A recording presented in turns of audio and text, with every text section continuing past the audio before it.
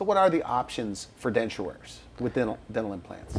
Okay, so options for somebody already wearing a denture. Some people wear a full denture. Some people wear what we call a partial denture.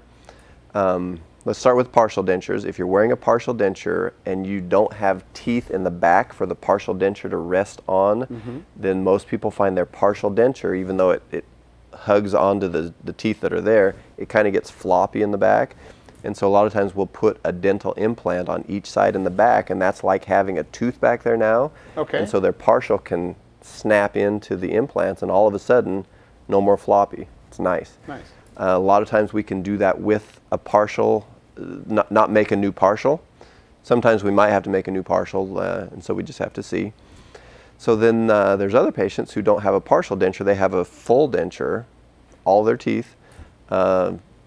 A lot of people don't like their lower denture in particular, so their options are they can have two implants placed right up here towards the front, snap their denture. We, we can a lot of times use the denture they already have.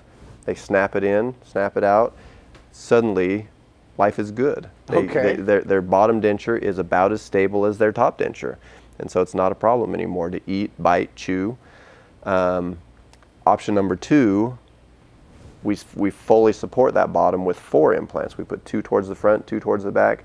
Now there's no way that that denture is even compressing their gums and hurting and so they've got full biting power again. Just like when they had their teeth they can chew and not feel like i'm squeezing my gums. Okay. Uh, stays in place. I, I can't tell you how many patients have come into my office and say i am so tired of wearing cream on the inside of my denture. I, mm-hmm. I don't mm-hmm. like the, the, whatever they're using, they, the, the yeah. goop, yeah, the adhesive. I mean, they, they're, they're just sick of it.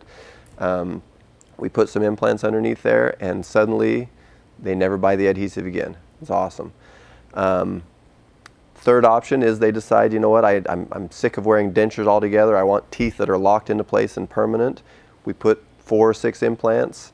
We put teeth that are permanently fixed onto those implants they don't take their teeth in and out anymore. They wear their teeth just like a regular person. You wouldn't be able to tell if they're wearing teeth that aren't their natural teeth. They can't hardly tell because they chew and they bite just like natural teeth. Uh, for a top denture, one of the biggest complaints that most people have is the roof of their mouth is covered. Their tongue doesn't like it. The way they speak, you know, they, they feel like there's this big thick thing. They can't taste stuff as good as they once did. Uh, and so we can actually cut the roof of the mouth out of their denture. Mm-hmm. We put four implants up on the top. They snap it in, and it stays just as if it was suctioned onto the roof of their mouth. Only, voila, their their their tongue can feel the roof of their mouth again. They can taste stuff, uh, or somebody's wearing a top denture, and they're again they're sick of wearing dentures, and so we put six implants up on the top. We make some permanent teeth that are just attached to the implants doesn't come in and out anymore. It's, it's like teeth.